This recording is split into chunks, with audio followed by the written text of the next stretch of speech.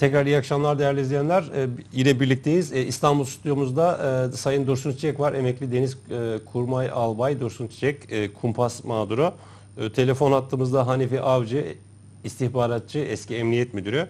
Ankara stüdyomuzda da e, Sayın Armağan Kuloğlu, emekli tümgeneral ve e, Sayın e, Nur Batur var. Dış politika uzmanı, gazeteci e, Nur Batur e, gündemi tartışıyoruz. E, balyoz davası, e, paralel yapı, cemaat, e, cemaatin yeniden e, irticayı e, ve irtica değil aslında da paralel yapı, devlet içinde örgütlenme, devlet içinde yasa örgütlenme diye e, Sayın Cumhurbaşkanı tarafından e, Milli Güvenlik Siyaset Bölgesi'ne tekrar sokulma, alınma girişimi onları değerlendiriyoruz.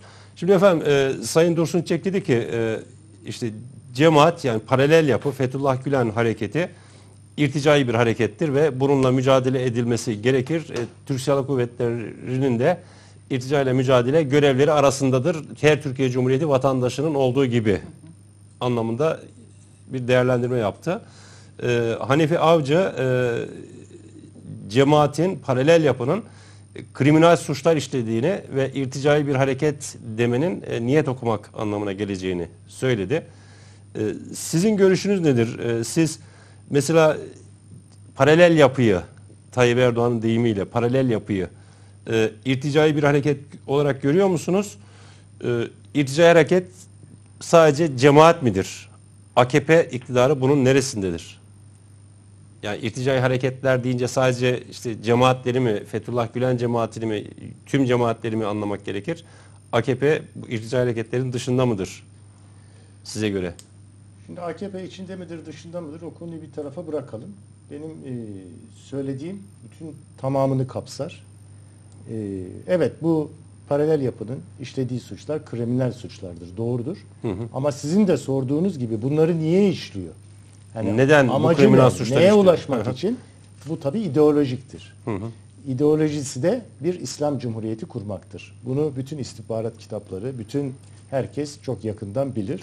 Yani şey Zaten mi? sistem itibariyle Gülen cemaatinin hedefi İslam Cumhuriyeti İslam, kurmak. İslam devleti kurmaktır. Gülen cemaatinin evet, hedefi. Birinci konu bu. İkinci konu biraz önce yine sordunuz. Silahlı kuvvetlerin vazifesi midir irtica ile mücadele? İrtica ile mücadele Dursun Çiçek'in de ifade ettiği gibi her Türk vatandaşının vazifesi olması gerekir ve esas itibariyle de bütün anayasal kurumların vazifesidir. Bu ya, bir rejim meselesidir. Bu çerçevede Türk Silahlı Kuvvetleri'nde e, bu, bu, görevidir. Tabii bu bir mücadele. rejim meselesidir. Bizim rejimimiz Cumhuriyet rejimidir. Bu rejimi ortadan kaldırıp bir İslam devleti kurma teşebbüsü irticai faaliyettir. Dolayısıyla anayasal kurumların tümü anayasal rejimi korumak maksadıyla hı hı. bu mücadeleyi buna karşı olacak tehditleri bertaraf etmek mecburiyetindedir, görevidir. Silahlı kuvvetlerde anayasal kurumlardan biri olduğuna göre o da kendi görev sahası içerisinde irtica ile mücadele ile ilgili bütün hazırlıklarını, planlamalarını ve icraatlarını yapar. Ve bu kurumlar birbirleriyle de koordineli çalışır. Yani silahlı kuvvetler ayrı, İçişleri Bakanlığı ayrı, Dışişleri Bakanlığı ayrı. Başbakanlık evet, ayrı. Başbakan, herkes tabii kendi görev sahası içerisinde bunu icra eder ama birbiriyle de koordine Peki, eder. Peki başbakanlık da irticai faaliyetler içinde ise ya da başbakanlığı başbakanlığı e, elinde tutan siyasi evet, anayasal, kadro ki Anayasa Mahkemesi'nin anayasal kurumlar var. Anayasa, anayasal Mahkemesi'nin 2007'de verdiği bir şey evet, var, karar anayasal, var AKP Anayasal hakkında. kurumlar eğer bu konuda bir aksaklık gördüğü, bir tehdit gördüğü zaman bu anayasal kurumlar kendi görev sahaları içerisinde devreye girerler. Hı hı. Silahlı kuvvetlerin vazifesi de kendi görev sahası içerisinde irtica ile mücadeleyi icra etmektir. Ve bu evet bu konuda silahlı kuvvetlerin belki diğer kurumlara nazaran biraz hassasiyeti vardır. Daha fazla hassasiyeti vardır. Onun için ön planda görünmektedir ve sanki Türkiye'de irtica ile mücadeleyi sadece silahlı kuvvetler yapıyormuş gibi bir manzara ortaya çıkmaktadır. Hayır böyle böyle değildir. Her anayasal kurumun anayasal rejimi koruma amacıyla irticali faaliyetlere karşı, tehditlere karşı mutlaka tedbirler alma zorunluluğu vardır. Ee, diğer konuya gelince e, Atatürk devrimlerine, Cumhuriyet'in devrimlerine ve rejimine karşı geliştirilen, uygulanan, yapılan planlamalar tamamı irticai faaliyetlerdir, gerici faaliyetlerdir. Çünkü e, Cumhuriyet e, ilkeleri modernizasyona, ileri demokrasiye, insan haklarına ve özgürlüğe ve çağdaşlığa doğru götüren hususlardır. Bunlara doğru giden bir hususattan geri çevirmek gericilik demektir. Gericilik de irticai faaliyettir. O bakımdan o veya bu veya şu şeklinde bunu tarif etmek yerine bu konularda faaliyet gösteren ve bunları geriye götürmeye çalışan ve dini esaslarda ülkeyi yönetmek için tedbirler alan, planlamalar yapan, teşebbüste bulunanlar tam irticai suç işlemektedirler. Ve bunu yapanlar da irticaya karşı irtica konusunda da bir tehdit oluşturmaktadırlar. Bununla mücadele ve bununla önlemek de herkesin görevidir. Anayasal kurumların tümünün görevidir. Nur Hanım sizin kanaatiniz nedir? Ee, Şimdi bir defa her şeyden ya önce Gülen, yani- cema Gülen cemaati irticai bir örgüt müdür? Ee, peki AKP neresindedir bu irticai yapılanmanın? 2007'deki Anayasa Mahkemesi'nden AKP layıklık karşıtı eylemlerin odağıdır kararını da hani göz önünüze almanızı rica ediyorum. 3. Türk Silahlı Kuvvetleri'nin de görevi midir irtica ile mücadele etmek? Şimdi birincisi irtica meselesi aslında sübjektif bir e, kavram. E, irtica dediğiniz nedir? Sadece bugün irtica Gülen cemaatiyle mücadele midir? Paralel yapı bugün ya da e, 10 yıl önce paralel yapıdan bahsedildiği zaman Türk Silahlı Kuvvetleri ya da Kemalist tırnak içinde rejimden bahsediliyordu. Bugün paralel yapı dendiği zaman cemaatten bahsediliyor. Şimdi o zaman yani paralel yapı ve irtica kavramları Türkiye'de konjonktüre göre değişebiliyor. Birincisi nokta bu. İkincisi e, e, yani kamuoyunda ve sokaktaki vatandaşta e, her şeye rağmen bir kaygı var. Bu kaygıyı görmek lazım. 29 Ekim'de e, sokaklara çıkan sivil vatandaşları gördüm. Ben Kadıköy'de e, çıktım tamamen e, bir sivil vatandaş olarak, gazeteci olarak da değil. Oradaki bir cumhuriyet yürüyüşüne katıldım. Bence Türkiye'de artık sokaktaki insan cumhuriyete sahip çıkmaya başladı. Bu Kadıköy'de de e, başka yerde de İzmir'de de tabii belirli yerler olarak e, değerlendirmek Daha mümkün. hassasiyetler belirli bölgelerde yoğunlaşıyor belki. Daha yoğunlaşıyor ama binlerce insan e, Cumhuriyeti korumak, Atatürk devrimlerini korumak, çağdaş Türkiye'yi, Atatürk devrimlerinin ötesinde bence kavram. Artık çağdaş Türkiye'yi ve modern yaşamı korumak için e, insanlar sokaklara dökülüyor. Atatürk Çocukları devrimleri bu vardı. çağdaş yaşamın te- te- temel taşı Temel- gibi temel taşı görülüyor. Yani temel taşı onun Cumhuriyet'in- üzerinde yükselen bir çağdaş Şimdi e, evet, medeniyet. yani Çağdaş. Cumhuriyet'in temelleri aslında ve Atatürk devrimlerinin temelleri Cumhuriyet'in temellerini oluşturan unsurlar. Bunlar bilime, e, çağa ayak uydurma e, gibi e, unsurları içersiyor ve tabii 1946'dan itibaren de Türkiye demokratik sürece, sürece girmiş e, bir e, ülke. E, uluslararası konjonktüre uygun olarak Türkiye 2. Dünya Savaşı'ndan sonra demokrasiye adım attı. Fakat daha sonra e, olayların gelişmesi, Türk Silahlı Kuvvetleri'nin üç defa müdahalesi ve 2000'li yıllara geldiğimiz zaman artık Türk Silahlı Kuvvetleri'nin e, kamuoyunda da bir e, Cumhuriyeti koruma misyonunun gözünde bence bittiğini düşünüyorum ben. Bugün gelinen noktada Türk Silahlı Kuvvetleri'nin irtica ile mücadele gibi bir e, görevinin ve misyonunun olduğunu düşünmüyorum. Bunu yapacak olan artık sokaktaki vatandaştır. Birinci Cumhuriyet'in birinci kuşakları çok fedakarca e, Cumhuriyeti kurdular. İkinci ve üçüncü kuşaklar geldiler. Dünya ile bütünleşen gençlerimiz var. Bunu gördük ki gezi olaylarında aslında yaşamına sahip çıkmaya çalışan, dünya ile bütünleşen gençler var bu ülkede. Onun için e, olayı sadece Türk Silahlı Kuvvetleri irtica ile mücadele etmeli ya da Milli Güvenlik Kurulu'nda efendim yeniden irtica ile mücadele e, kavramının girmesi gibi bakmak bence çok yanlış. Ya bana göre yanlış. E, e, toplumda giderek artan hassasiyeti ve toplumdaki sivilleşmeyi Cumhuriyete ve Atatürk devrimlerine, çağdaş Türkiye'ye sahip olma eğilimini, sahip çıkma ve koruma eğilimini görmek lazım ve demokratikleşmeyi güçlendirerek e, bu eğer ki bir iltica varsa ki var, benim kanaatimde var ama bunu sadece cemaatle e, e, bağlantılı görmüyorum. Eğer 5 yaşındaki çocukların e, başı başını örtmesi e, bir özgürlük olarak adlandırılıyorsa ben bunu da irtica O olarak konuda görüyorum. hukuki düzenlemeler yapılıyor. Yani Ben bunu da irtica olarak 5 yaşındaki bir çocuk kendi iradesiyle çocuklarının, kız kız çocuklarının başını örtmez. Bu bir gerçek.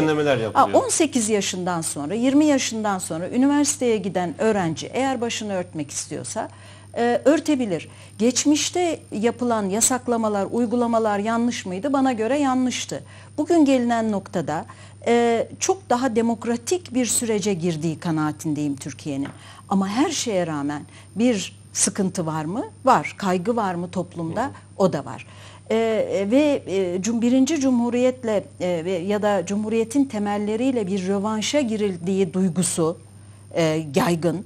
Hatta hatta ikinci cumhuriyetin kurulmakta olduğu ve bu cumhuriyetin nasıl gelişeceği konusunda kaygılar var, soru işaretleri var.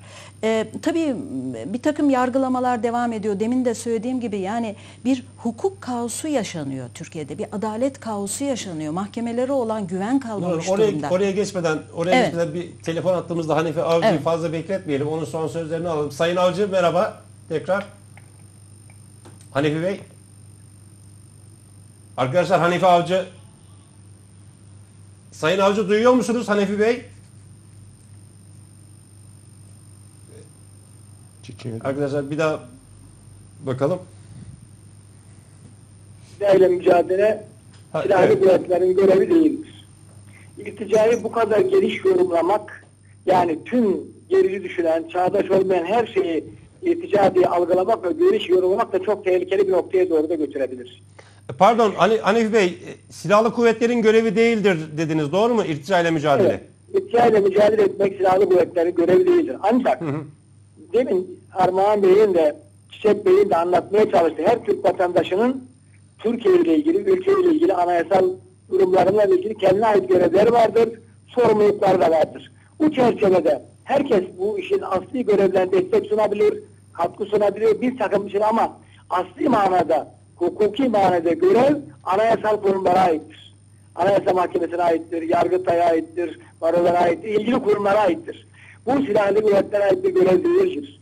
Bunu geniş yorumlayıp silahlı kuvvetine koyduğunuz zaman o zaman demokrasiyle ilgili sorunlar başlar, rejimle ilgili sorunlar başlar. Zaten ya geçmiş pratikte yaşadığımız, geçmiş dönemde yaşadığımız bir takım darbeler, 28 Şubat dönemin olayları bugün bu operasyonlar başladığı zaman yani ilk balyoz operasyonu, anayasa, şey, Ergenekon operasyonu, benzin operasyonu başladığı zaman Türkiye'deki liberallerden, demokratlardan, aydınlardan destek aldılar. Niye? Onlar diyorlardı ki biz işte juntalarla, itilallerle geçmiş demokratik kuruluşlarla hesaplaşıyoruz diyorlardı. Yani öyle bir haklı zemin buluyorlardı. Tabii ki onlar niyet değil ama toplumda böyle bir destek buldular. Yani toplumda silahlı kuvvetlerin bu tür şeyler ilerliyormuş gibi tabii bunu bir adım ilerisi hükümetle, rejimle, siyasi partilerle veya diğer kurumlarla silahlı kuvvetlerine karşı karşıya getirme noktası dönüşüyor. Demin size söyledim hükümet dediniz. Yani silahlı kuvvetler hükümete de müdahale edecek. O noktaya doğru gidiyor. O açıdan derim ki herkes demokrasiye ve onun kurallarına saygı duymalıdır. Herkes hukuka uymalıdır. Herkes hukuka saygı duyarsa sorun biter. Ama kimse hukuku ülkeyi kurtarma rolünü vermemelidir. Bugün bakın çok enteresandır.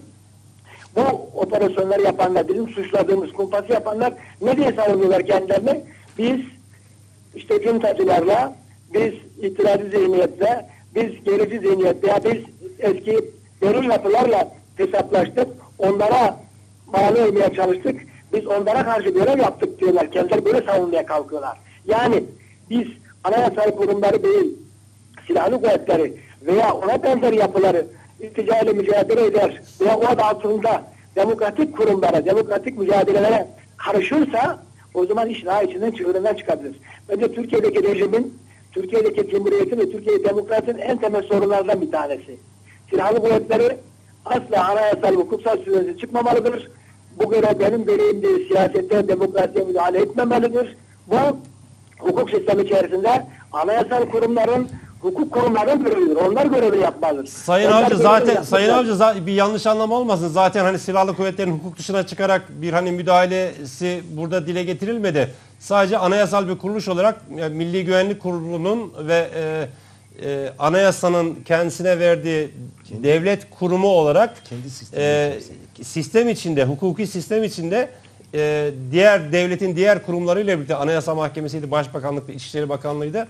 İrtica ile mücadele etmesi gerektiği dile getirildi. Yani mesela içindeki işte irticai eğilimli e, personelin ayıklanması da mesela bir irtica ile mücadeledir. Elbette ki silahlı kuvvetlerin kendi içerisindeki kurumsal yapısıyla ilgili yapacaklarını ben bir tarafa bırakıyorum. Asıl önemsediğim konu toplumu ilgilendiren, toplum, sivil toplumu ilgilendiren olayın boyutudur. Burada boyutun asıl sorumlusu anayasa ve yasalar açıkça bellidir. Yasal kuruluşlar en temel görev yargının görevidir. Veya diğer anayasal kuruluşların görevidir. Ama Türkiye'nin geçmiş pratiğine baktığınız zaman 28 Şubat dönemini yaşadık. Ben o dönemin de mağdurlarındayım. O dönemin de bugünküne kadar olmasa bile küçük ciddi, ciddi mağdurları vardır. Çok küçük bahanelerle gerçekten eczaya gören cefa gören insanlar da vardı. Onu da görmek lazım. Zaten diyorum benim susu, şey, bugünkü Silivri davalarının veya bu tarikat ilk başladığı zamanki toplumdaki besleyen kabulün manasıdır. Geçmişte yaşadığımız süreçtir. O süreçleri bir daha yaşamamak, olayları bir daha görmemek adına diyorum ki ben silahlı kuvvetleri mutlak anayasal sınır içerisinde kalsın. Dünyadaki emsal örneklerinde olduğu gibi o sınırda kalmalıdır. Kendi iç bünyesindeki olaylar, kendi disiplini, kendi iç hiyerarşi sistemi içerisinde yapacak olaylar hariç dışarıya taşan, sivil topluma karışan hiçbir şekilde bu olaya karışamazdır. Bana göre yasalarımızda böyle bir yetkisi yok. Öyle bir hukukumuz da cevaz vermektedir. İlgili hukuki kurumların devreye girmesi gerekir. Türkiye Silahlı Kuvvetleri bir adım ileriye gitmiştir geçmişte. Bu ileriye gidiş hem rejimi hem sistemi sıkıntıya sokmuştur hem görüntü kirlenmiştir hem de bugün yapılan yanlışların başlangıçta haklı bir zemini var gibi toplumsal bir destek de almıştır. Bunu da görmek gerekir diye düşünüyorum. Evet, çok teşekkürler Sayın Hanife Avcı e, katıldığınız için. E, size veda edelim mi? E, ekleyeceğiniz bir şey kaldı Teşekkür mı? ediyorum. Ben tabii size iyi yayınlar diliyorum. Başarılar diliyorum. Çok teşekkürler. Sağ olun efendim. Evet. şey, Dursun Çiçek yeniden döneceğiz Dursun Çiçek İstanbul stüdyomuzda. Ee, şimdi ben bu program bu bölümünde işi de geçmek istiyorum. Yani işit, e, e, IŞİD aslında değil mi? Şimdi Sayın Cumhurbaşkanı DEAH diye adını Evet. şey yaptı, re- revize mi etti? o, o da ne anlama geliyor? Arapçası, Arapçası. Şimdi hani biz Türkiye içinde irticai hareketler ve e, İslam devleti bazı hani paralel yapıların ve işte hani anayasaya aykırı örgütlenmiş cemaatlerin diyeyim e, Türkiye'de bir İslami devlet oluşturma e, tehditlerinden söz ederken birden yanı başımızda e, daha global bir e, irticai tehdit belirdi. IŞİD diye İslam Irak Şam İslam Devleti ki daha sonra adını İslam Devleti diye kısalttı. Yani Irak ve Şam'dan çıkardı. Daha küresel bir isim olarak İslam Devleti adını verdi kendisine ve bu şimdi Orta Doğu'yu ve bizim sınırımızı da yakıp kasıyor. İşte bir küresel koalisyon oluşturmaya çalışıyor Amerika Birleşik Devletleri bununla mücadele için. Ee, bu şey midir? Yani tam da sözünü ettiğimiz irticai tehlike midir Türkiye için? İşit. Şimdi işit Ya irticai Türkiye Türkiye ötesinde- Türkiye'deki potansiyel e, tabanını da hani değerlendirerek Şimdi Türkiye'deki potansiyel taban işitin tabanına pek benzemez. şimdi New York Times Yani mesela Türkiye'deki e, insanların çoğu e, yani, e, muhafazakar insanlardır. ama Kendi e, dinlerini, ibadetlerini yapan insanlardır. o, konuda, o, o anlamda söylemedim Hani özür dilerim. Şey, şimdi özellikle Amerikan basını e, New York Times gazetesi mesela geçtiğimiz ay bir şey e, haberle çıkmıştı. Hacı Bayram Camii'ne Ankara'daki Hacı Bayram Camii'ne işte Sayın Cumhurbaşkanı ile Başbakanın da fotoğrafını kullanarak IŞİD'in e, ne demişti Ele- eleman kaynağı buradan Evet, işi de dünyanın her yerinden insan geliyor. Sadece Türkiye'den değil ki Amerika'dan da geliyor, İngiltere'den de, Fransa'dan da, Almanya'dan da, Avrupa ülkelerinden geliyor, Orta Asya ülkelerinden geliyor, Orta Doğu ülkelerinden geliyor. E buna paralel olarak Türkiye'den de geliyor. E Türkiye'den gelirken bunların bir kısmı birkaç tanesi, 10 tanesi, 15 tanesi de Hacı Bayram civarında olan insanlardan da olmuş olabilir. Yani bunun anlamı Türkiye'nin belli noktalarının IŞİD'e e, eleman deviren, devşiren bir e, konumda olmasını da gerektirecek ben bir Amerikan basınının yaklaşımı aslında. Yok yani öyle bir öyle bir şey olması mümkün değil ama dünyanın her tarafından geliyor. E Türkiye'den de gidiyor. Çünkü oradaki taban bir Irak Şam İslam Devleti, İslam Devleti halifeli, halifeliği de ilan etti biliyorsunuz. Daha küresel olma için, daha global olmak için ve daha çok kontrol sahası elde ederim, daha çok destek alabilirim. İslam dünyasının e, kontrolünü daha iyi buradan e, yapabilirim düşüncesiyle böyle bir şey de e, ortaya koydu. O bakımdan Irak Şam İslam Devleti olarak ortaya konan konuyu sadece bir irticai de, konu olarak ortaya koymak yanlıştır. O bir terör örgütüdür ve terör örgütünün ötesinde küresel güçlere hizmet eden bir örgüttür.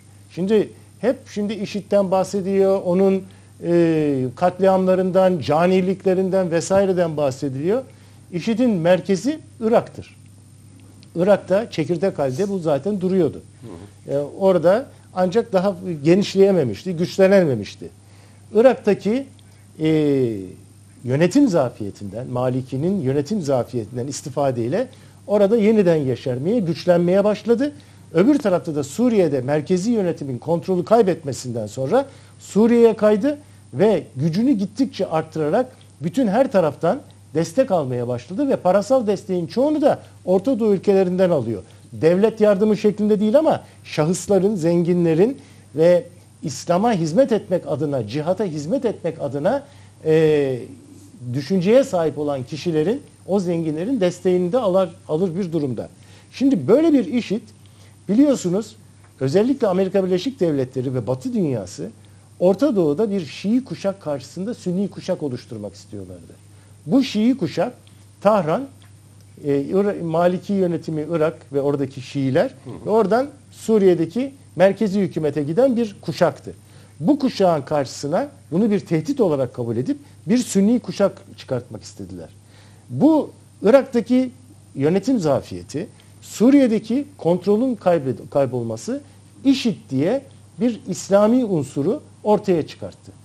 Bu ve yani buna planlı olarak mı ortaya çıkartıldı? Ya, Şii kendisi kuşağı, vardı. Şii kuşağı karşı. Kendisi vardı ancak onun güçlenmesine, ona güç verildi. ona e, geniş sahaları kontrol etmesine bir noktaya kadar müsamaha edildi. Hı hı. Ve den, denildi ki Şii kuşak karşısında böyle bir kendiliğinden oluşan bir Sünni kuşak var. Bu Sünni kuşak Şiileri dengeler ve dolayısıyla ben de bununla zaman içerisinde işbirliği yaparım. Hı hı. Bu işbirliğiyle zaten Suriye parçalanıyor. Kuzeyde bir Kürt, ortada bir Sünni, güneyde bir e, efendim, batıya doğru Laskiye'ye doğru bir Esad yönetimi. E, Irak'ta da zaten kuzeyde bir Kürt, güneyde bir Şii var, ortada da Sünni bölge var. Dolayısıyla Irak Sünni bölgesiyle Suriye Sünni bölgesinden geçen bir bölgeyi Sünni kuşak olarak güçlendiririm. Bundan da bir irtibat kurmak suretiyle Şii kuşağı, Şiileri kontrol altında tutarım düşüncesi yatıyordu. Ne zamana kadar? IŞİD daha çok güçlenip Kürt bölgelerine saldırıncaya kadar. Kürt bölgelerine saldırmaya başlayınca o zaman işin şekli şemali değişti. Çünkü e, küresel güçlerin başta ABD olmak üzere Orta Doğu politikalarında haritaların değişmesi var. Bunu Condoleezza Rice başta olmak üzere birçok kişi ortaya koydu. O NATO'da ortaya çıkan, NATO Savunma Koleji'nde çıkan haritaların gerçeklik payının çok fazla olduğunu biliyoruz. Amerika bir Amerika'da bir takım düşünce kuruluşları var. Bu bir devlet politikası olarak ortaya çıkmaz. Düşünce kuruluşlarında bunlar tartışıla tartışıla tartışıla tartışıla bir noktaya kadar getirilir. Sonra devlet tarafından bunlardan bir kısmı benimsenir. İşte bu haritalarda o devlet tarafından benimsenmeye başladı ve bölgede bağımsız bir Kürdistan'ın kurulması konusunda mutabakat ortaya çıktı. Bu Kürdistan'ın Irak'ın kuzeyindeki ayağı gerçekleşti. Suriye'deki karışıklıktan ve Esad rejiminin kontrolünü kaybetmesinden dolayı da Irak'ın kuzeyinde bir Kürt kuşak oluştu. 11 kantonel bölge ortaya çıktı. 3 tanesi de buna ana kantonel bölge. Ortada Kobani, efendim doğusunda Cizire, batısında da Efsin. 3 ana kantonel bölge. Bunlar birbiriyle irtibatlı, birbiriyle entegre bir durumda. Şimdi Suriye'nin kuzeyindeki bu bölge Suriye'nin bölünmesi esnasında özel bir yapıya bölünecek. Aynen Irak'ın kuzeyindeki yapı gibi. Yani PYG e, bu konununda, buranın da e, kontrolünü sağlayan siyasi güç. Şimdi işit taarruzları Irak'ta, Irak'ın kuzeyinde Erbil'e uzatmaya başlayınca, burada da Kobani'ye uzanmaya başlayınca ve Kürt bölgelerini tehdit edince bu sefer Amerika Birleşik Devletleri kafasına koyduğu planın dışında IŞİD'in hareket etmeye başladığını görünce tek başına değil bir koalisyon kurmak suretiyle IŞİD'i belli noktada sınırlama harekatına girişti. Dikkat ederseniz yapılan operasyonlar IŞİD'i yok etme operasyonu değil, IŞİD'i sınırlama operasyonudur. O yani Sünni kuşakla sınırlı tutma. Evet kontrol- Sünni kuşak kontrollü kontrollü sınırlı tutma, onun dışarısına taşmaması, Kürt bölgelerine gelmemesi ve Irak'ta oluşan yapıdan sonra Suriye'nin kuzeyinde oluşan yapıya zarar vermemesi. Türkiye ile anlaşamadığı Amerika'nın bu IŞİD'le mücadeledeki pozisyon nedir? Amerika ile anlaş tabii şimdi Türkiye ile anlaşamadığı Ya bu- bu konu şu. çerçe- bu kapsam- Şimdi IŞİD kuzeyde Kürt bölgesini tehdit ediyor. Kürt bölgesinin kontrolünü sağlayan YPG ve bunun entegrasyonunu sağlayan da YPG. YPG PKK'nın desteklediği onun bir uzantısı. Dolayısıyla YPG'ye yapılacak yardım ve ona verilecek destek PKK'ya verilmiş destekle eşdeğer tutuluyor. Dolayısıyla Suriye'nin kuzeyindeki Kürt yapısının varlığının devam etmesine ve gücünün devam etmesine imkan sağlayan bir durum ortaya çıkıyor. Yani bölgede bir Kürdistan kurulması Türkiye için bir tehdittir. Birinci ayağı Irak'tır, ikinci ayağı Suriye'dir. Üçüncü ayağını da Türkiye'de kurmak istiyorlar. Ame- Amerika için tehdit değil ama.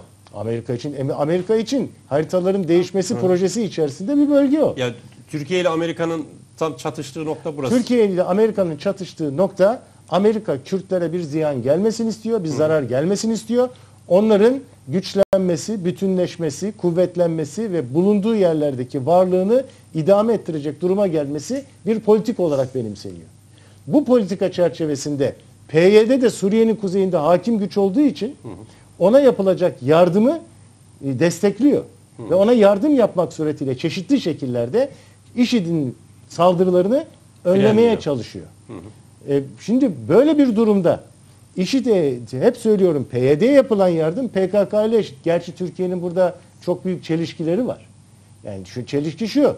Şimdi IŞİD'e e, IŞİD'le mücadele etsin diye PYD'ye yardım yapan Amerika'yı tenkit ederken Türkiye Amerika ile bir anlaşmazlığa girerken PKK'nın PYD'nin bir gücü olduğunu, bir kolu olduğunu biliyor ama PKK'nın PYD saflarında çarpışmasına ve Irak'ın kuzeyindeki yapının peşmergeleri Türkiye üzerinden PYD'yi desteklemek ve onu güçlendirmek maksadıyla oraya intikaline de Türkiye müsaade ediyor. Ama bunda Amerika'nın baskısı sonucu.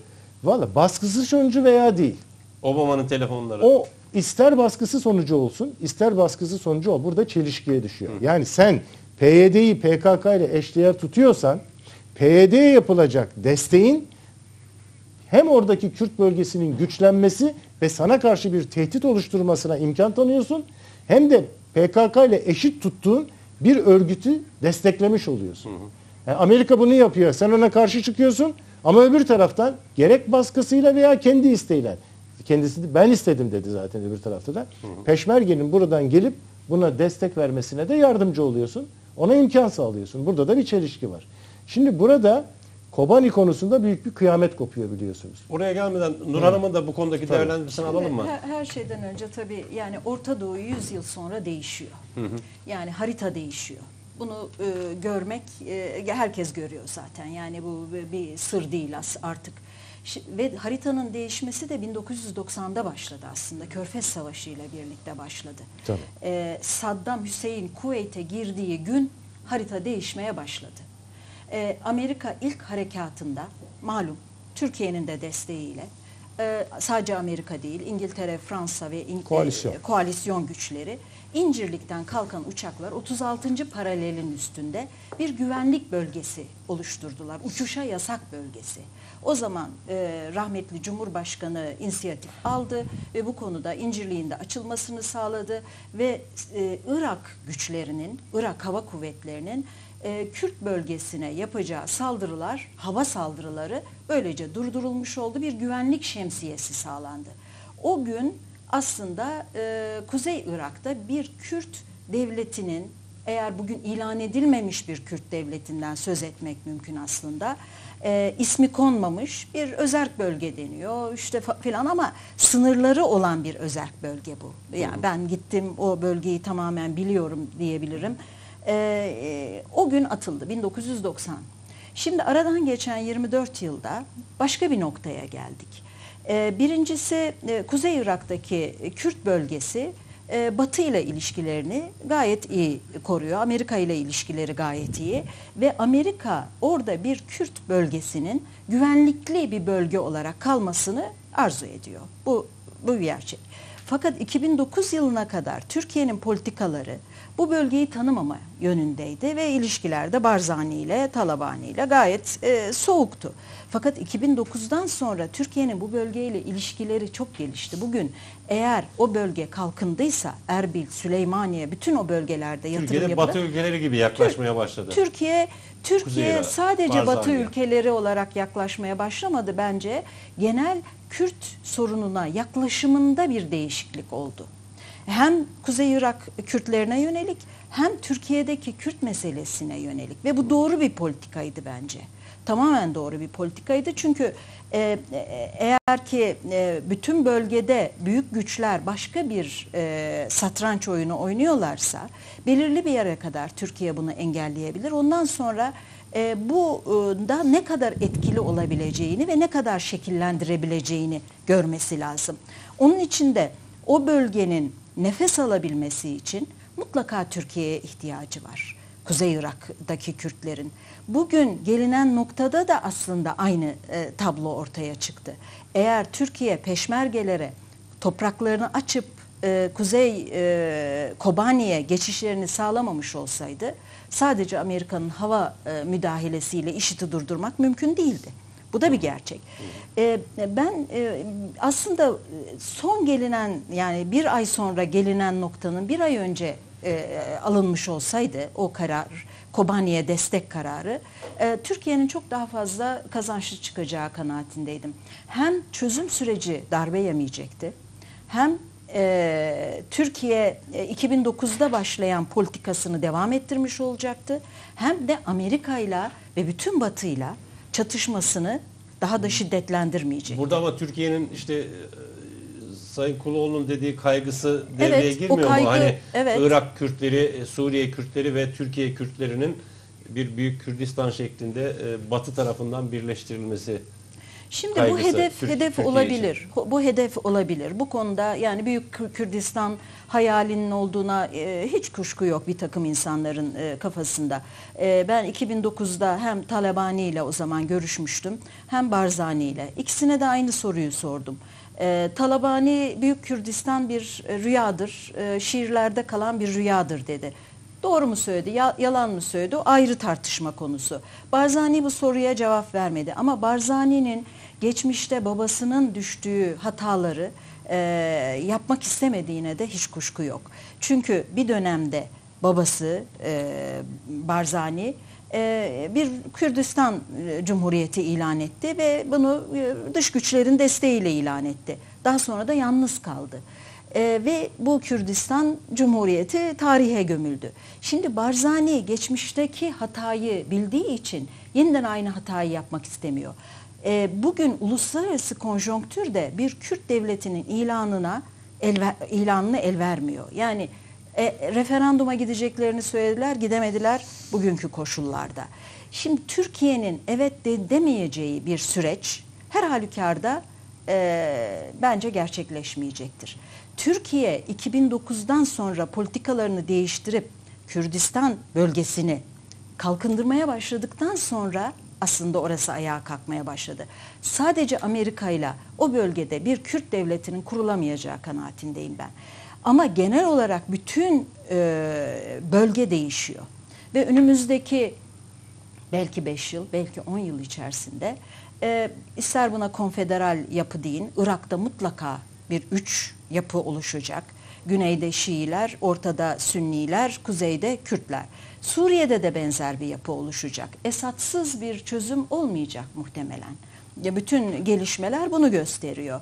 Yani bugün Türkiye illaki Esad devrilsin diye ısrar ediyor ama e, uluslararası e, atmosfere baktığımız zaman Rusya dahil, zaten Rusya bugüne kadar e, Esad'ı ayakta tutan güç oldu. Çin ve Rusya, esas Rusya. İran.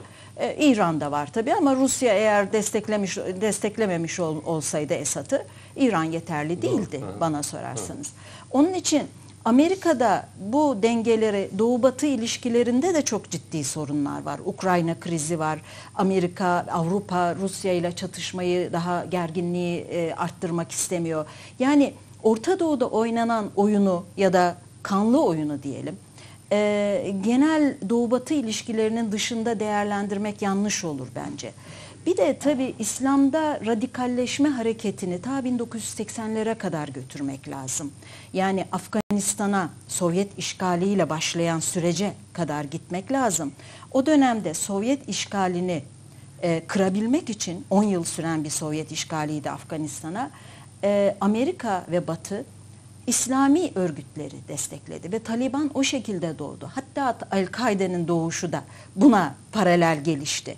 Şimdi 2000'li yıllardan sonra yani Obama döneminde El-Kaide'nin lideri e, öldürüldükten sonra bölgede bu sefer farklı radikal gruplar oluşmaya başladı ve bunun da işte lideri e, IŞİD.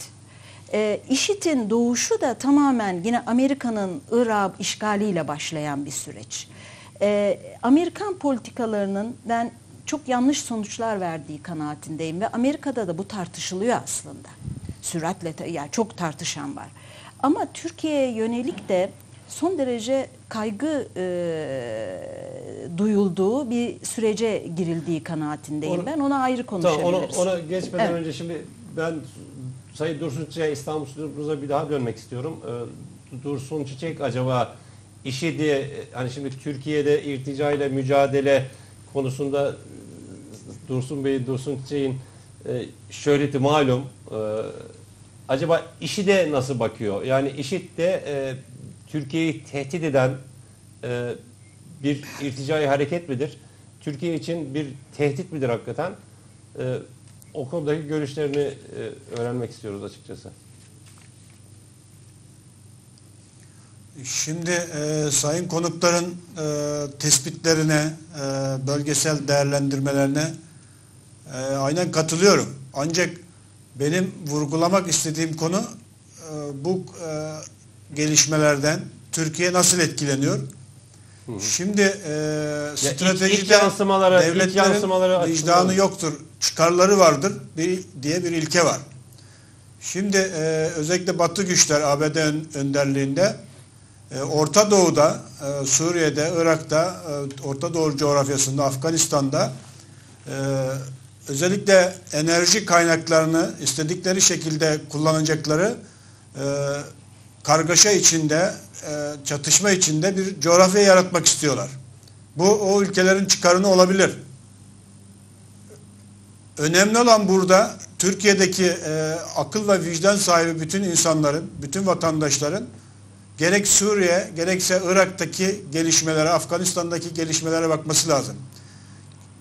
Şayet ülkenin yöneticileri, ülkenin vatandaşları buraları iyi okursa, iyi gözlemlerse o duruma düşmemek için yani dış güçlerin planladığı senaryoyu bozmak için kendi içinde e, bütün olması, anayasal hukuk devleti ilkelerine bağlı olması, e, eğitim sistemi, demokrasiyi geliştirmesi, birlik ve bütünlük içinde olmasının ne kadar önemli olduğunu ortaya koyar. Şimdi atalarımız bir demokratik, çağdaş bir devlet kurmuş, seçim sistemini koymuş ve herkesin eşitlik hakları çerçevesinde bu ülkedeki e, kaynaklardan, nimetlerden faydalanmasını öngören bir sistem kurmuş. Şimdi bu sistemi parçalayıp dine göre, siyasi görüşe göre, mezheplerine göre insanları parçalamak, Irak ve Suriye'den sonra, Afganistan'dan sonra Türkiye'de de bir iç çatışma yaratmak, Türkiye'yi de zayıflatmak kime hizmet eder? Yine Irak'taki ve e, Suriye'deki bu senaryoyu, bu çatışmayı yaratan dış güçlere yarar. Şimdi dış güçler bunu ister mi? Evet ister. Bunu önlemek bizim görevimiz, milletin görevi, uyanık vatandaşların görevi. Şimdi bu çerçevede bu dış güçlerin planladığı senaryoyu bozacak olan milli güçlerin içinde en önemli güçlerden birisi silahlı kuvvetlerdir, güçlü ordudur. Silahlı kuvvetlerin e, kurumlarının çoğunda görürüz. Güçlü ordu, güçlü devlet, güçlü devlet, güçlü ordu. Bunlar birbirini tamamlayan unsurlardır. Şimdi güçlü orduyu zayıflatan, e, başarılı subaylarını, personellerini hapse tıkan, görevde yapılanları görev yapanları sindiren, inisiyatif ve liderlik yeteneklerini kullanmalarını engel olan, korkutan bir örgüt, bir zihniyet, bir irticai faaliyet kime hizmet eder? İşte bu dış güçlere, Türkiye'yi karıştırmak isteyen, Türkiye'yi Suriye ve Irak'a çevirmek isteyen, kardeş kanı akıtmak isteyen güçlere hizmet eder. İşte bu nedenle diyoruz ki bu örgüt, bu irticai örgüt silahlı kuvvetleri hedef yapmıştır. Çünkü Türkiye'yi zayıflatmak istiyor. Türkiye'nin bütünlüğünü zayıflatmak istiyor. O nedenle dış güçlere hizmet ediyor. Ce- ce- cemaati mi kastediyorsunuz Sayın Çiçek? Cumhurbaşkanı bile dış güçlerin maşası diyor. Dış güçlerin, stratejik güçlerin yönettiği örgüt diyor. Bunun altında devlet istihbaratının sağladığı bilgiler var. Şimdi Türkiye'de kardeş kanı akmasını istemiyorsak, Türkiye'de mezhep çatışmasını istemiyorsak, Türkiye'nin Irak ve Suriye gibi yaşanamayacak bir ülke olmasını istemiyorsak, binlerce, milyonlarca vatandaşın ülke dışına kaçtığı bir e, sorunlu bir bölge olmasını istemiyorsak, ordumuza sahip çıkmalıyız. Güçlü orduyla, güçlü milli birlik ve beraberlikle bu dış oyunları sevden beri ortaya konan bu dış güçlerin planlarını bozmamız lazım. İşte silahlı kuvvetler bunun e, çabası içerisinde Atatürk'ün söylediği gibi silahlı kuvvetler bu milletin çelikleşmiş ifadesidir. Başka bir unsur, başka bir gücün temsilcisi veya çıkarlarını koruyan bir unsur değildir. Milletin ta kendisidir. O nedenle milletin içinden çıkmış bir silahlı kuvvete, e, onun personeline kumpas kurmak, onun milletin gözünde değerini düşürmek ancak bu e, Orta Doğu'daki senaryoları kuran ülkelere yarar, e, dış güçlere yarar. Bu konuda milletimizin, vatandaşlarımızın uyanık olması lazım. Hemen yanı başımızda Irak'ta, Suriye'de oynanan senaryoları bozması lazım. Silahlı kuvvetlerine, ordusuna, milli birlik ve bütünlüğüne sahip çıkması lazım. Hiç kimse istemez IŞİD gibi veya Irak'ta yaşanan PKK gibi terör örgütleriyle korku salınan bir ülkede yaşamayı, her an e, ölümle karşı karşıya gelmeyi, demokratik hak, hak ve özgürlüklerin yok olduğu bir ortamda, bir ülkede yaşamayı. O, o halde hepimiz bu örnekleri çevremizde, komşularımızda yaşanan acıları izlemeliyiz. Buradan ders çıkarmalıyız ve o duruma düşmemek için e, vatandaş olarak, bilinçli vatandaş olarak e, başta seçme ve seçilme hakkı olmak üzere e, görevlerimizi yapmalıyız. Bu konuları çok iyi değerlendirmeliyiz ve başlangıçta da ordumuza, silahlı kuvvetlerimize sahip çıkmalıyız diye düşünüyorum. Sayın Çiçek, şimdi bütün gelinen bu noktada yani siz de dahil e, bu dediğiniz işte e, kumpaslar, e, orduyu, Türk Silahlı Kuvvetleri'ni itibarsızlaştırma, suçlama, dirençsiz hale getirme dış güçlerin desteğiyle e, bütün bu süreç yaşandı. Geldiğimiz bugün var. Peki bugün siz Türkiye'nin bu bütün içeride ve dışarıda yaşadığı tehditlere karşı Türk Silahlı Kuvvetleri'nin e, Türkiye Cumhuriyeti için görevini yapabilecek pozisyonda, konumda ve güçte olduğuna inanıyor musunuz?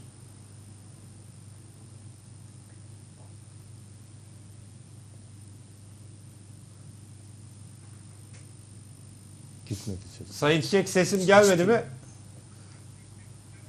Seste evet sorunuzu alamadım. Tekrar eder Ee, misiniz? bütün bu yaşanan süreç işte dış destekli cemaatin e, yaptı dediği işte Türkiye'de başta silahlı kuvvetler olmak üzere itibarsızlaştırma, etkisizleştirme, içinde sizin de bul- bulunduğunuz işte subayları ve komutanları cezaevlerine atma e, e, yaşandı ve bugüne geldik. Silahlı kuvvetler, Türk Silahlı Kuvvetleri bugünkü haliyle, bugün 4 Kasım bugünkü haliyle Türkiye'yi iç ve dış tehditlerden koruyabilecek durumda mıdır size göre? E, o dış güçlerin ve cemaatin işte yıpratma, etkisizleştirme çabaları amacına ulaştı mı? Ne diyorsunuz?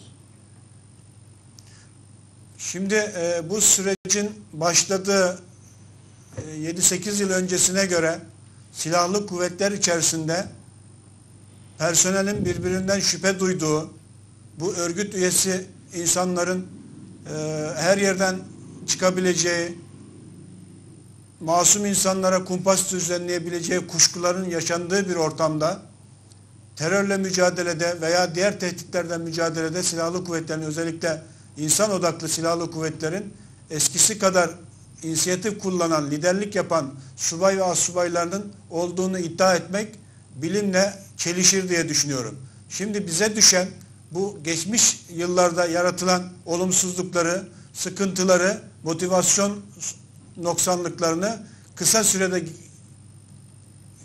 karşılamak açısından, gidermek açısından silahlı kuvvetlere herkesin destek olması lazım. Bunun birinci temeli de bu kumpasta mağdur olan bütün insanlara, hukuk cinayeti mağdurlarına, şehitlerimiz var, hukuk şehitlerimiz var, hastalanan, sağlığını kaybeden e, silah arkadaşlarımız var. Bunlara öncelikle beraatini yani masumiyetini teslim etmek, şu an görevde yapan, e, görev yapan silahlı kuvvetler mensupları içinde geleceğe yönelik e, beklentilerinde, umutlarında bir e, olumlu gelişme sağlayacaktır. İkinci aşamada bu kumpası kuranların yargılanması ve hak ettikleri cezaların alınması mütakip dönemde benzer suçları işleyenleri caydıracaktır. İşte bu yargılamalar, bu hukuk arayışları, bu adalet arayışları hem yargı açısından hem silahlı kuvvetleri açısından hem devlet sistemi açısından büyük bir e, test, büyük bir önem arz etmektedir. Dolayısıyla milletin bu yargılamalara sahip çıkması, adalete sahip çıkması ki devletin temelidir. Silahlı kuvvetlerde yaratılan mağduriyetlerin tabi diğer e, aydınlar için, gazeteciler için, e, siyasiler için yaratılan mağduriyetin yaralarının onarılması konusunda e, herkesin elinden geleni yapması gerekir. Bu benim sorunum değil, benim başıma gelmedi deyip hiç kimse bu işi e, öteleyemez, bu işin önemini küçümseyemez. Aksi halde silahlı kuvvetler zayıflarsa, milli birliğimiz zayıflarsa Suriye ve Irak'taki çatışma ortamına girmekten kurtulamayız. Kardeş kanı akar. Geçmişte bunu denediler. Ee, yine deniyorlar. Ee, sıranın Türkiye veya Irak, İran'a geldiği kesin. Ee, bu konuda milletimizin uyanık olması gerekir. Ee, başta ordusu olmak üzere milli güç unsurlarına sahip çıkması gerekir. Bu konuyu özellikle vurgulamak istiyorum. Evet, çok teşekkürler Sayın Çiçek. Ee, programımızda sonuna geliyoruz. Ee, değerlendirmeleriniz için çok teşekkür ederiz hakikaten. Ee, şimdi buraya dönüyoruz tekrar. Ee, ne diyorsunuz Sayın Kuloğlu? Hangi Programımızda sonuna yaklaştık. İki tane konu Ee, biri, biri şey Orta Doğu'da kaldık, bir Türkiye'de kaldık. Hangisini soruyorsun? İk- İkisini, ikisini kararak. Şimdi burada İkisi e, karıştı çünkü. Yok burada şimdi şey girdi devreye. Ee, yani Dursun Çiçek'e sordunuz Dur. Dursun Çiçek'e sorduğum Ben soru bana hemen ona bir özetle cevap Amerika ile. Türkiye arasında döneyim. Sayın Birincisi- Cumhurbaşkanı ile Amerika arasında da bir itiş kakış görülüyor işte üst akıl diyor. Yani Sayın Cumhurbaşkanı diyor ki işte bizim sınırlarımızı ve bizim içimizi karıştırmaya gücü yetmez bu işte PYD'nin, Peşmerge'nin, Kobani e, lobisinin. Bunların üzerinde bir üst akıl var diyerek Amerika Birleşik Devletleri'ne Evet. bir göndermede bulundu, bir suçlamada bulundu. Bu, bu çerçevede. Ben hepsini birden özetleyeyim. Ee, Türk Silahlı Kuvvetleri'nin e, gücü ne durumdadır diye sormuştunuz. Türk Silahlı Kuvvetleri milletin ordusudur. Türk milletinin desteği arkasında olduğu müddetçe kendisine verilen bütün görevleri icra edebilecek kabiliyette ve e, metanettedir. Bundan hiç kimsenin şüphesi olmasın. Bu birinci konu. Diğer konu özellikle Yani bu son 4-5 yıldır yaşananlar silahlı kuvvetlerin görevini yapma konusunda bir zafiyet oluşturmadı. zafiyet oluşturma değil, silahlı kuvvetlere darbe vurulması konusunda son derece büyük bir operasyon düzenlendi. Ve silahlı kuvvetlerin itibarının zedelenmesi hususunda elinden gelen her şey yapıldı herkesin. Ve Türk Silahlı Kuvvetleri'nin e, etkisizleştirilmesi konusunda bir takım faaliyetler içerisinde bulunuldu. E, ama Türk Silahlı Kuvvetleri bütün bunların üstesinden gelir ve milletin desteğini arkasında gördükçe ve bunu hissettikçe her zaman için görevini tam hakkıyla yapmaya hazırdır ve yapacak da güçtedir. Bundan kimsenin şüphesi olmasın. Bu birinci konu. Gelelim ikinci konuya. Burası son derece önemli. Bu Orta Doğu'daki manzarayı göz ardı etmeyelim. O e, büyük güç, akıllı güç, e, üst akıl dedikleri konu ifade edemediği Amerika Birleşik Devletleri'dir. İfade etmekten biraz kaçındı onu e, devlet adamı olduğu için tabii en üst noktada olduğu için. Amerika Birleşik Devletleri Orta Doğu haritasını şekillendirmektedir. Bu şekillendirme içerisinde Irak'ın kuzeyindeki yapı doğmuştur. Suriye'nin kuzeyindeki yapının muhafazası ve varlığının devam etmesi için çalışılmaktadır. Türkiye'deki çözüm süreci konusu ne Irak'taki Kürt yönetiminin konusuna benzer ne Suriye'deki oluşan Kürt bölgesinin konumuna benzer. Irak'ta bir terör örgütü çıkıp da Irak'ın kuzeyinde bir özerk yapı kurmadı. Suriye'de bir terör örgütü çıkıp da Kürtlerin hakkını savunacağım diye Suriye'nin kuzeyinde bir Kürt yapısı ortaya çıkartmadı. Burada bir kontrolün kaybetmesi sonucunda ortaya çıkan durum orada bir Kürt bölgesi oluşturdu. Irak'ın kuzeyinde de biraz önce de e, ifade edildiği gibi Amerika Birleşik Devletleri'nin birinci körfez müdahalesinden sonra ortaya çıkan bir durumun bugünkü yansımalar olarak ortaya çıktı. Türkiye'deki yapı da buna entegre edilmek suretiyle üç ayaklı bir Kürdistan'ın kurulması projesi vardır. Ama bu üç sene sonra olur. Ama beş sene sonra olur. Ama on sene sonra olur. Buna zaman e, tayin etmek mümkün değildir. İran konusunda biraz önce Çiçek söyledi. Zaman içerisinde de İran da bunun içerisine girecek ve bu Büyük Kürdistan konusu tamamlanacak. Ama zaman ve şartlar ve uluslararası konjonktürün uygunluğu buna e, tayin edecek bu durumu. Türkiye'deki çözüm süreci bir terör örgütünün Türkiye'yi tehdit etmesi sonucunda ortaya çıkmış bir husustur. 30 yıl bundan mücadele edilmiştir. En sonunda devlet ben bundan mücadele edemiyorum. Bari müzakere edeyim de ne istedilerse yapayım konusuna kadar getirmiştir. Terör örgütü oradaki e, etnik kökeni Kürt olan Türk vatandaşlarının temsilcisi değildir. Abdullah Öcalan'la görüşme yapılıyor. Abdullah Öcalan oradaki Kürt kökenli Türk vatandaşlarının temsilcisi ve sözcüsü de değildir. O bakımdan bu konuya son derece dikkat etmemiz lazım. Terör örgütüyle müzakere yapılmaz. Terör örgütüyle mücadele edilir. Onun gücü kırılır. Ha demokraside eksiklik varsa, özgürlüklerde eksiklik varsa, uygulamada eksiklik varsa bu da zaten yapılması gereken konulardır. Bunlar yerine getirilir. Evet. Bunun bunun başka tarifi yok. Şimdi Peşmerge askeri Irak'ın kuzeyinden çıkıp PYD'yi desteklemeye giderken o bölgede PKK'nın sempatizanlarının, destekçilerinin ve oraya da çıkarılmaya çalışan bir Kürt milleti algısının ne durumda olduğunu görmeye çalıştık. Orada çiçeklerle, davul zurnayla, tezahüratla karşılanıyor. Türk askerine taş atanlar peşmergeyi selamlıyor. Yani böyle bir duruma geldik. Bunun farkında olunması lazım. Bunun farkında değiller ve hala çözüm sürecinde ısrar ediyorlar. Çözüm süreci Türkiye'nin bölünme sürecidir. Demokratik hakların verilmesi, özgürlüklerin tanınması, idarenin güzelleştirilmesi, demokrasinin ilerletilmesiyle hiçbir alakası yoktur. Orada işte şunlar bu hakkı verelim, şuna da bunu verelim, yerel yönetimler kanunlarında çıkaralım. Orada kendi mali konularını da idare eden, efendim kendi polis gücünü de oluşturan, kendi güvenlik güçlerini oluşturan bir yapıyı ortaya çıkaracak seviyeye kadar gelen adı özellik olmasa da demokratik özellik vesaire diye bir konuyu ortaya çıkma- çıkartmak istiyorlar. Burada Komadi, Kobani için çıkarılan kıyamet bir Kürt dayanışmasıdır.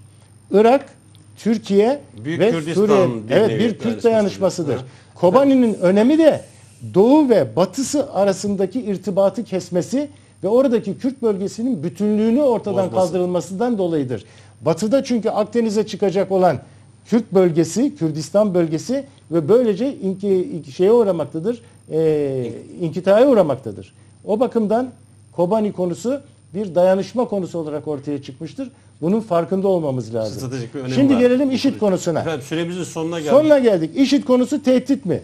IŞİD Türkiye içerisinden kim doğru dürüst adam devşiremez. Belki 3 kişi, 5 kişi, 10 kişi, 50 kişi, 100 kişi cihatçı gider onlarla beraber olur ama Türkiye'nin yapısı buna müsait değildir. Burada şunu düşünmemiz lazım. IŞİD mi Türkiye için bir tehdittir? Yoksa burada kurulacak bir Kürdistan, Batı Kürdistan, Doğu ile olan entegrasyonu ve Türkiye ile olan irtibatı ve bir Kürt dayanışmasının sonucunda ortaya çıkacak olan bir genişletilmiş Kürdistan mı tehdittir? Bunun ayrımını yapmamız Evet. lazım. Kritik şey IŞİD bu, hiçbir zaman bu. Türkiye'ye tehdit olamaz. Nasıl tehdit olur? Ancak işine gelmediği hususlarda belli yerlerde bir takım terör faaliyetlerine başvurabilir. Ama bir düzenli ordunun karşısında IŞİD'in Suriye'deki gibi, Irak'taki gibi bir e, sonuç alması mümkün değildir. Türk Silahlı Kuvvetleri ezer geçer. Çok teşekkürler. Nur Hanım süremizin sonuna geldik ama Tabii e, Sayın bir, Paşam bir cümleyle askeri- rica- asker- bir cümleyle cümle bir cümle bir şey söyleyeyim ben de. Devam Türkiye e, tabii ki Türk Silahlı Kuvvetleri işiti ezer geçer.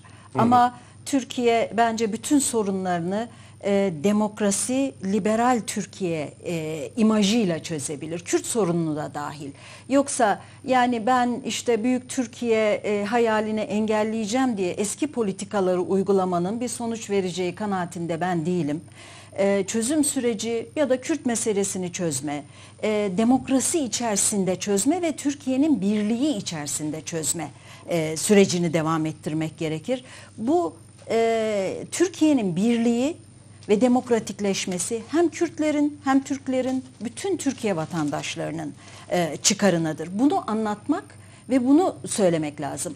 Ama elinde Kalaşnikov silahla sokaklarda dolaşan bir takım PKK militanları varsa da bunu devlet herhalde seyirci kalmayacaktır, Çok müdahale edecektir. Çok teşekkürler Nur Hanım. Sağ olun. Ee, Sayın Komutanım, Sayın Armağan Kuloğlu çok teşekkür ederim. Ben teşekkür ederim. Değerli izleyiciler, ee, izlediğiniz için teşekkür ederiz efendim. İstanbul stüdyomuzdan programa katılan emekli Deniz Kurmay Albay e, Dursun Çiçek ve sayın telefonla katılan sayın Hanife Avcı'ya da çok teşekkür ediyoruz. Bizi izlediğiniz için e, teşekkürler efendim. İyi geceler. Sakın ayrılmayın.